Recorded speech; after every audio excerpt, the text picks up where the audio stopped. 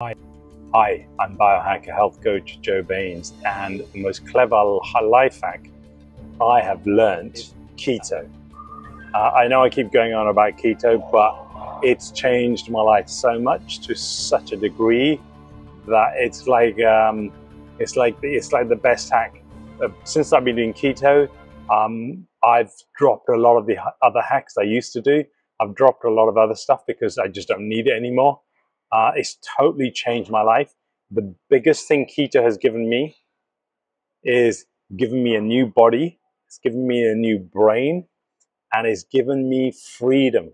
That the freedom it has given me is insane. Like the things I, I spent most of my life worrying about and thinking about under keto, they mean nothing. They mean nothing. Like I don't even have to think about them.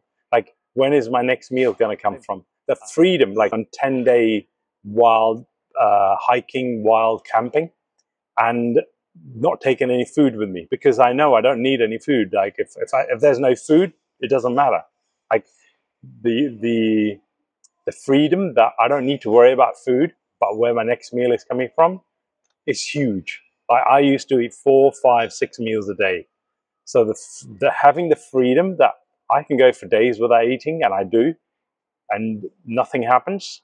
That that is the biggest life hack. Is that like once you once I went keto, I was able to go for days without eating. And in fact, if the longer you go without eating on keto, the better your performance gets, the clearer your mind gets, the more clarity you have, the, the sharper your mind gets. It's just the more productive you become, the more energetic become, and like everything, right? So